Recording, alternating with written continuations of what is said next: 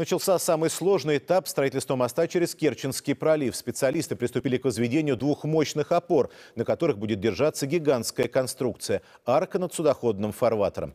Георгий Лисашвили увидел, как воплощает в жизнь уникальный технический проект. Это один из самых масштабных и сложных этапов строительства. Именно в судоходной части мост через Керченский пролив достигает максимальной высоты. По проекту от нижних перекрытий до воды 35 метров, а от верхней точки арочного пролета целых 80. Любое судно, курсирующее между Черным и Азовским морями, пройдет, что называется, с запасом. Работа идет в круглосуточном режиме и, что особенно важно, в любую погоду, даже в шторм. Для этого еще на первых этапах строительства были созданы вспомогательные площадки, по которым на место возведения доставляют людей и стройматериалы. Для того, чтобы не зависеть от погодных условий, была создана временная инфраструктура, а именно рабочие мосты и технологические мостики. Рабочие мосты предназначены для э, доставки людей и материалов к месту производства работ.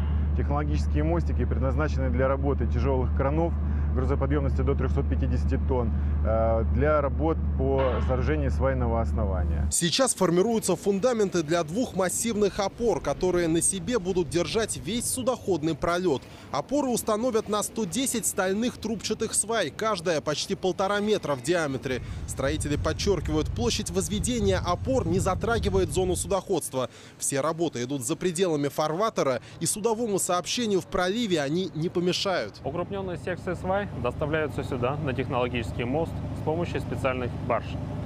Э, стенды по укрупнительной сборке свай расположены на острове Туза.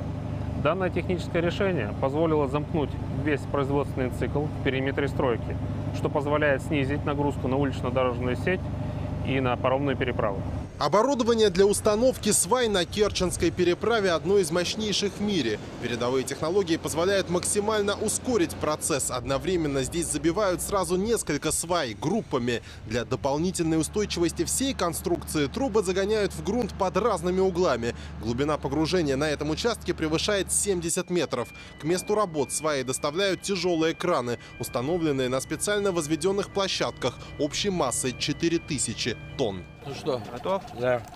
Параллельно со строительными продолжаются работы и на дне, которые водолазы очищают от посторонних предметов – якорей, кусков арматуры, рыболовных снастей. Кроме того, водолазные службы постоянно контролируют состояние гидротехнических сооружений и рельеф дна в зоне строительства. Поставлена задача э, обследовать акваторию э, на наличие подводных гряд. Э, многие катера, которые курсируют вот на акватории, строительства моста, при, э, при волнении цепляются днищем а эти гряды подводные. Наша задача их обследовать, обнаружить и э, буйками ограничить район. Общая протяженность 19 километров. Керченский – самый длинный мост в стране. В Таманском музейном комплексе уже презентовали специальную экскурсионную программу, посвященную грандиозной стройке. А на видовые площадки, откуда можно увидеть панораму строительства, в этом сезоне приезжают туристы со всех регионов России. Мы всегда ездим, много лет уже отдыхаем в Крыму, и очень не хватает как раз вот этого сообщения, потому что хочется приехать на машине, чтобы увидеть все красоты. Интересно будет посмотреть на завершение этого строительства, потому что масштабы сейчас, как бы даже то, что мы увидели на данный момент, они впечатляют.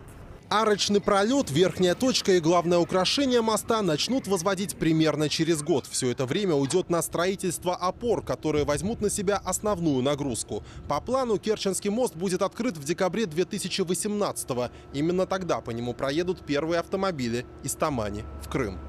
Георгий Лисашвили, Мария Михневич, Первый канал.